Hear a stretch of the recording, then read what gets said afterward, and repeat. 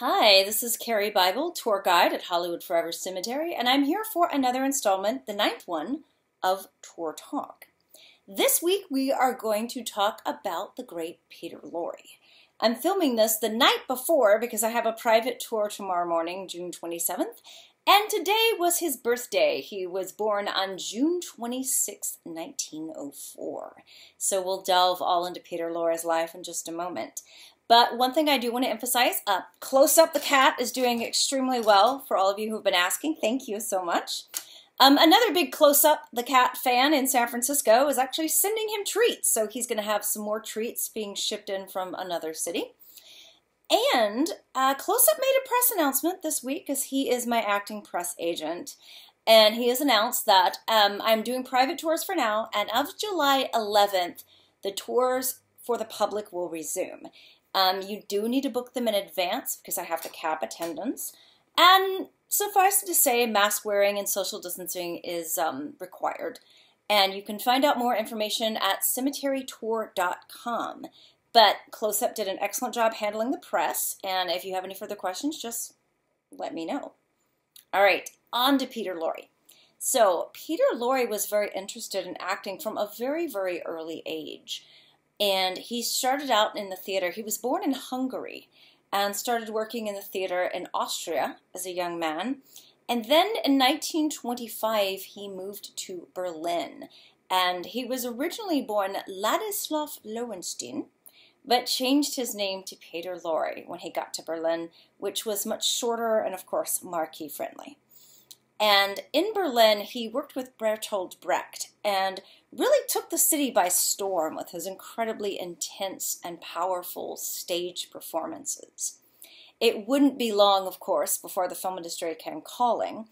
And by 1931, Peter Lorre was cast in what I consider to be his signature film, M, as in the letter M, directed by Fritz Lang in 1931. In this film, Peter Lorre plays a serial killer who goes after young children. The film caused an international sensation when it was released. People around the world were terrified of Peter Lorre. Uh, there are stories that if people saw him in the streets of Berlin after M was released, they would grab their child, start screaming, and run down the streets to get away from Peter Lorre. So he truly terrified people, and M put him on the map. And what makes M so terrifying is not really what you see, it is what you do not see. For example, I'm sure many of you are familiar with the film Jaws and the opening scene where the woman goes in the water and the shark eats her, and you don't see the shark or the blood or anything like that. Well, in M, there's a scene where Peter Lorre sees a very young girl in the streets. Why she has no parent, who knows? But anyway, he sees her in the streets in this film, and he buys her a balloon. And then he takes her by the hand. They walk down the street, they round a corner, the scene fades out. It fades up, and you just see the balloon go up in the sky. So you don't need to see what happens. What you fill in with your imagination is far more terrifying. And Fritz Lang was using this technique decades before Spielberg would apply it in Jaws. And again, M was just a terrific film and still holds up very well today on DVD. Well, there was a lot of turmoil, of course, going on in Europe at the time, and as the Nazis rose to power, Peter Lorre was warned to get out quickly. So he went on to Paris. And while in Paris, he had a very rough time. He couldn't find very much work. Well, he was contacted by a British director who would change Peter Lorre's life forever, named Alfred Hitchcock. Peter Lorre went to a meeting with Alfred Hitchcock and he barely spoke any English, and Peter just sat there and nodded and smiled a lot, which led Hitchcock to assume that he did speak English, and hired Peter Lorre for the 1934 film The Man Who Knew Too Much. And Peter Lorre quickly would stay up all night learning English, trying to learn his lines. He was very, very dedicated to the role, and of course, it paid off. And after that, Peter Lorre was offered a contract in Hollywood. So he went out to Hollywood and he really, in a way, he loved Hollywood because the sunshine, the palm trees, totally different environment from Berlin. The problem, however, was that Peter Lorre, because of M, he was sort of typecast in these roles of these deranged, crazy villains. And he hated that. He wanted to show that he was much more of an actor and there was so much more he could do as an artist. And he didn't always get that opportunity. Well, his first English role was The Man Who Knew Too Much. And then when he got to America, he was, uh, again, typecast so much. And he wound up at Fox in the Mr. Moto series. Now, he played a Japanese detective, even though he's Hungarian. And of course, it's inappropriate by our standards today, but that's sort of the way things were at that time. So the Mr. Moto films were very, very popular, and Peter Lorre made about nine of those. But again, he hated the work, and he felt very creatively frustrated. And also, making matters more complicated here was, of course, the fact what was going on back home in Germany. Peter Lorre felt very disconnected from his family and his homeland, and he felt just devastated at what was happening in World War II, and it was a very frustrating time. He gave anti Nazi speeches on the radio, and he did everything that he possibly could to help out with the war effort. And he wound up leaving Fox because he was very unhappy with the Moto films and the other roles he was asked to play. And he wound up at Warner Brothers, which would probably be the happiest time of Peter Lorre's life and career. At Warner Brothers, he was partnered with Humphrey Bogart and Sidney Greenstreet in what would become a blockbuster in 1941, John Huston's The Maltese Falcon.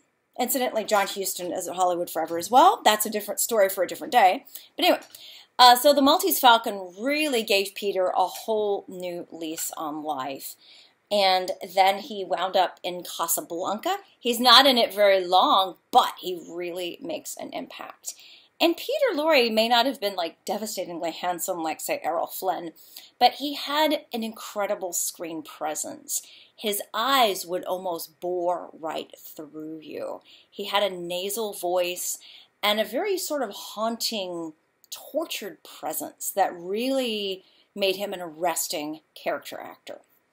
Well, he starred in many more films at Warner Brothers, and he was there about, I think, about five years or so, and that was just a great period of time in Peter Lorre's life. But unfortunately, he was not renewed at Warner Brothers. World War II had come to an end. A lot of things were changing. So Peter Lorre started working in radio. And then he wanted his independence, so he founded his own production company. And he was trying so hard to get quality material because, again, he was so tired of being typecast. Well, the problem with that was he had a terrible time finding the right material. And then he hired a business partner to run the day to day operations of the company. And this person wound up embezzling and really destroying everything. And Peter wasn't really watching over the books and the financial details. And next thing you know, he was completely bankrupt by 1949. And this business partner had really done a tremendous amount of damage. So Peter Lorre left for Europe. He had divorced his first wife, Celia Lovsky, and married another woman named Karen Verne, who was a German actress. Well, he went over to Europe and he was, of course, very devastated all the damage and all the horrors he saw that were still very present from World War II. And he wanted to make a film about this. So he made a film called The Lost One. And Peter had a very troubled production. He wrote, directed everything, this film. And also, when it came out, it was met with a combination of either derision or contempt or just kind of ignored. And Peter Lorre felt like the German people had sort of turned their backs on him. But in reality, after all the stuff that had happened in World War II, they really just didn't want to see a film that was revisiting the horrors they had just experienced in real life. So Peter was very devastated and he felt his masterpiece was rejected. Also, his wife Karen Verne left him, so he's been bankrupt. His wife left him. His film did not succeed. He's having a very, very rough time. So he went back to Hollywood and he got a call from an old friend, director John Huston, who offered Peter Lorre a role in the film Beat the Devil with Humphrey Bogart. He made that and it helped his career again. Peter also worked in the burgeoning medium of television, and he would make the record books in 1954 as the very first James Bond villain in the 1954 TV version of Casino Royale. Then Peter went on to character roles, but really kind of became a parody of his former self with the bulgy eye master of menace thing that he hated so. And he wound up in family oriented type movies like 20,000 Leagues Under the Sea or Voyage to the Bottom of the Sea. And he really hated these films and felt, again, he was constantly feeling creatively frustrated. He wanted to be a leading man, he wanted these high quality artistic roles, and sadly, he wasn't getting them. And also, by the way, along this path, when Peter was much younger, he'd had an operation that did not go well, and he became addicted to morphine. So throughout his life, Peter was a morphine addict, and he hid this from his coworkers, the studio. His family and friends knew about it, but Peter Lorre managed to keep this from the general public and, of course, his colleagues. And this problem continued to plague him throughout his life.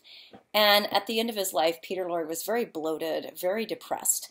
He married for the third time a woman named um, Anna Marie. They had a daughter named Catherine, and their marriage was very troubled as well. And they were actually getting a divorce and had a divorce hearing on the day Peter Lorre died. He was only 59 years old. And of course, he never made the hearing, and he and Anna Marie wound up together in the Cathedral Mausoleum at Hollywood forever. And Peter Lorre may be gone, but his legend certainly isn't. He is still widely considered one of the greatest character actors in all of Hollywood history. And he's been parodied so many times through animation, including Ren and Stimpy, the Looney Tunes, that people that have never even seen a Peter Lorre film know the bulgy eyes, know the voice, know the menace. They know him because he's so incredibly iconic. And as an interesting postscript, Peter Lorre's only daughter, Catherine, was walking down Highland in Hollywood in 1977 when two police officers stopped her and started harassing her.